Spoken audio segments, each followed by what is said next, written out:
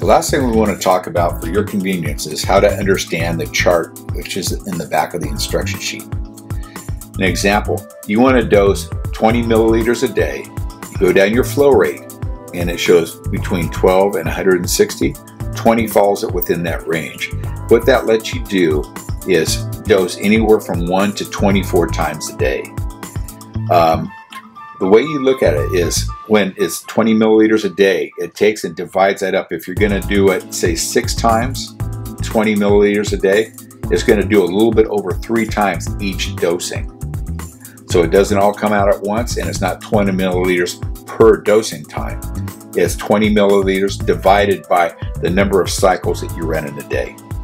Okay, so your convenience, you want to dose 400.